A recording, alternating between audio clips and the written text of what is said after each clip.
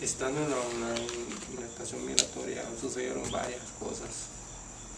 A punto de ser golpeados, porque a veces se, se reunían las maras y incluso soborno. A mí, yo nunca fui sobornado, pero sí varios compañeros de los que estábamos en el proceso de Comar fueron sobornados.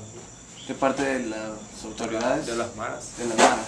O sea que las, las maras prácticamente son los que corren, los, que manejan las instituciones de detención migratoria. Sí.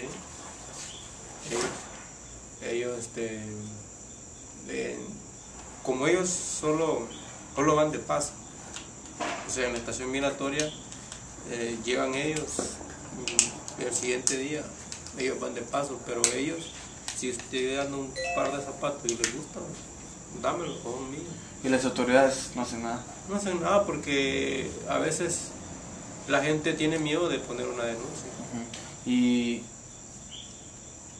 algo, ¿qué otros tipos de abusos físicos? Sí, abuso físico. O sea, las personas, por ejemplo, yo, a mí, nun- o sea, yo nunca pasé un abuso físico. Gracias a Dios, Dios me guardó. Pero sí pude ver en, en ciertas personas. A un amigo mío lo golpearon, Le rompieron la nariz. Y pues, eh, como le digo, ellos son de las personas que si, si le dicen me gusta tu camisa, tienes que dársela. Y si no, pues te golpeamos. Ahí hay hombres y mujeres. hombres y mujeres, pero los hombres están aparte y las mujeres aparte. O sea, y en eso sí son bien ordenados ellos. O sea, está al lado de mujeres y al lado de hombres. Y algo más que quiera compartir con nosotros. ¿No? Solo eso. Y si, si pudiera mandarle un mensaje al gobierno, al gobierno de Honduras, ¿qué le dirían?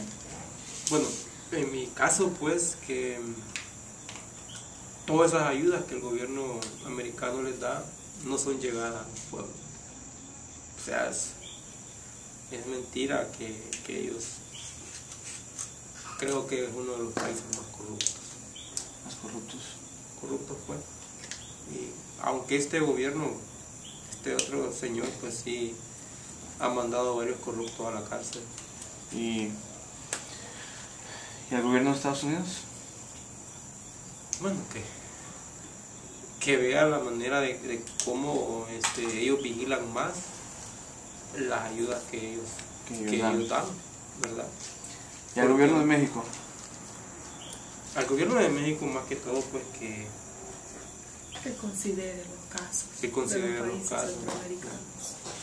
Por ejemplo, nuestro caso, que hemos necesitado tanto, tanto, que nos resolvieran el caso de inmediato pues, por la desesperación que traíamos. Y se imagina, ya tenemos un año en México y aún todavía nuestra situación no se resuelve.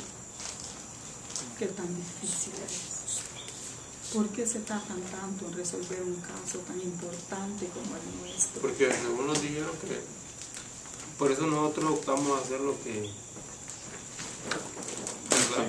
con la niña porque cinco meses más esperar el- la, la, la respuesta del amparo usted dijo nosotros mucho tiempo ¿va?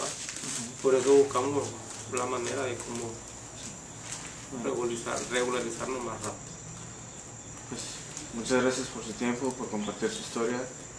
Dios los bendiga, nos ayude y, y pues les deseamos toda la suerte del mundo y vamos a estar en contacto con el hermano Verdugo, Ramón y a ver en qué podemos ayudar. Licenciado, yo quisiera mandar un mensaje al gobierno de Estados Unidos que yo como madre de, es- de ese preso, Josué Benítez, necesito necesito una información, por qué necesito una explicación. Necesito más que todo la necesidad que siento es de verlo, por lo menos la última vez, por lo menos. Que me dé una visita para mi hijo para poder verte la última vez, porque como madre se me ha negado la información por la, la razón por la cual mi hijo está ahí. ¿Por qué se me ha negado esa información? ¿Por qué me ha negado ese derecho? Porque sí, siento que tengo derecho de una, por lo menos una visita de ir a ver. Y lo que me ha hecho falta es información de qué manera llegar para poder pedir esta visita y poder llegar a ver a mí, lograr mirarlo, porque siento la necesidad de verlo. Porque, oiga, licenciado, no quiero morirme sin verlo la última. Ya sabe, la muerte llega porque llega. Pero que llegara porque fuera que Dios ya se lo quiere llevar pero que la mano del hombre corte una vida, me imagino yo de que tiene que ser una razón muy justificable. Bueno, este, gracias por su tiempo y muchísima suerte. Gracias a ustedes, gracias por venir y, y, y visitarnos y poder conocer de nuestros casos, de nuestras condiciones tan precarias, que somos una familia tan vulnerable, que habiéndolo tenido todo indispensable en nuestro país, haber tenido que salir de esta forma